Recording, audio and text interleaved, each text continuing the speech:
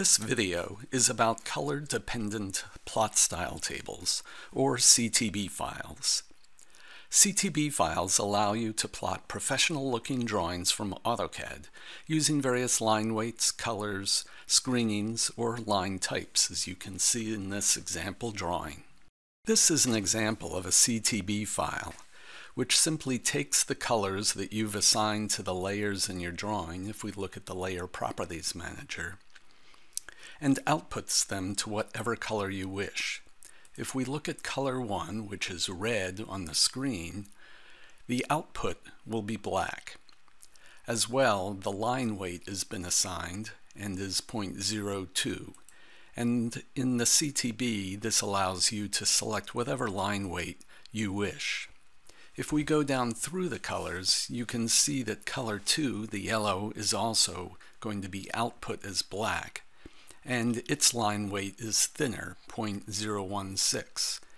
And if we go through the other colors, you can see the line weights reduce in size. That's just the way this particular CTB file has been constructed.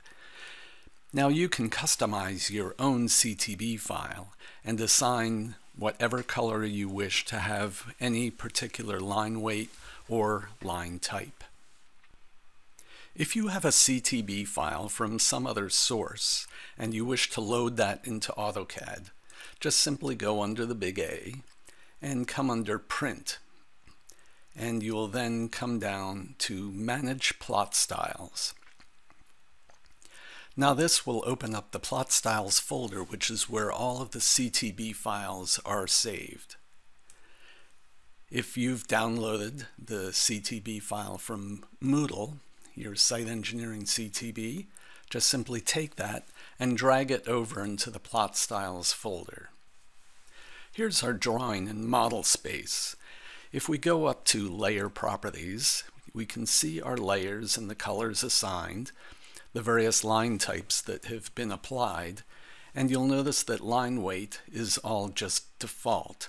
And this is because this will all be overridden by our CTB file. Now let's take a look at the CTB file in action. We need to go to our layout and you'll see our drawing with the line types but none of the colors have been applied yet. So if we type plot or we could go up to print you'll see that our CTB file is site engineering if it hasn't been selected, just simply go to this particular pull down and select the Site Engineering CTB or whatever your CTB file is named. And we can then just come to Preview. And you can see now that line weights have been applied. Everything is black or gray. But there are a couple of issues here. One, you'll notice that the dashed lines aren't equally spaced. As well on this curve, we have a long line instead of our uh, double dash. And our stream is a solid line as opposed to the dash that has been assigned to it. So there's an easy way in which you can correct this. Now the issue is not with the CTB file, but rather just a quirk within AutoCAD. To get the dashes to go through the curved lines and not be interrupted by vertices, we simply use the pedit command and we need to select multiple so just type in mreturn and select really all of the lines that are within our drawing. And we hit return to select those. And we don't want to convert these P lines or everything into a P line, so just hit N for no. And now it wants us to enter an option, and this is where we want to select line type generator.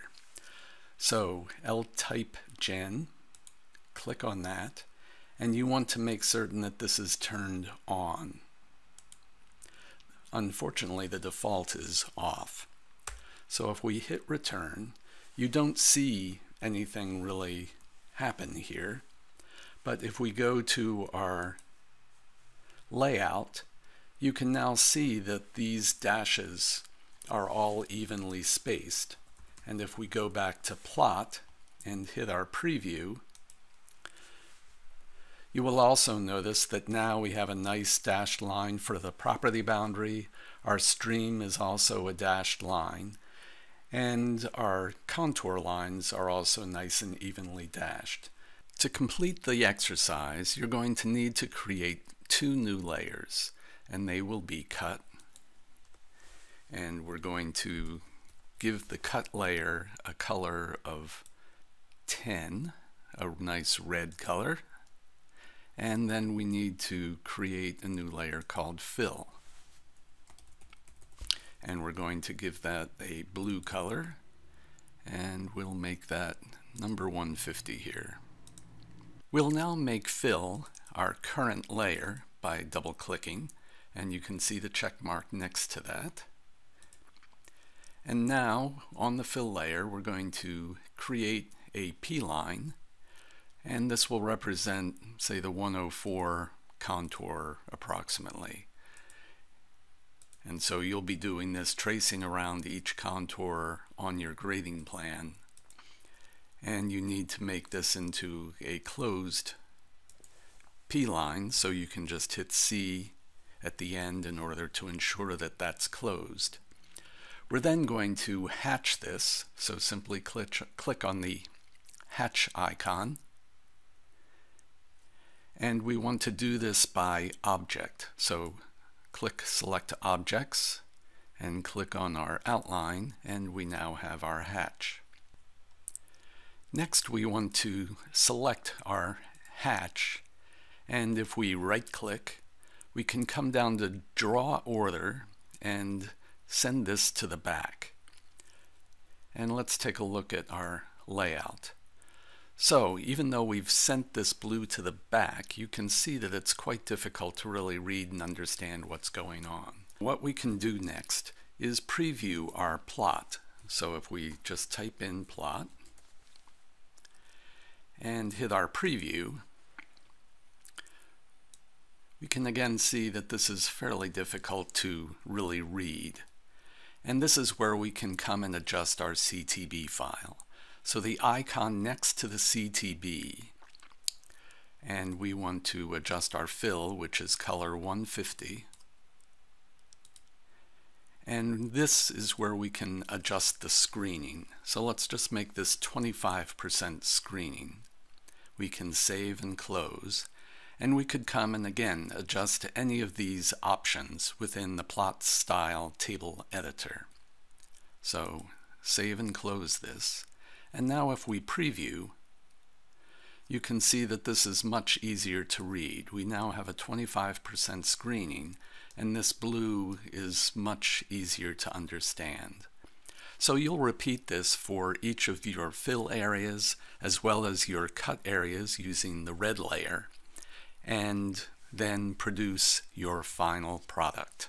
Hopefully this provides you with some helpful hints on using CTB files and I wish you luck.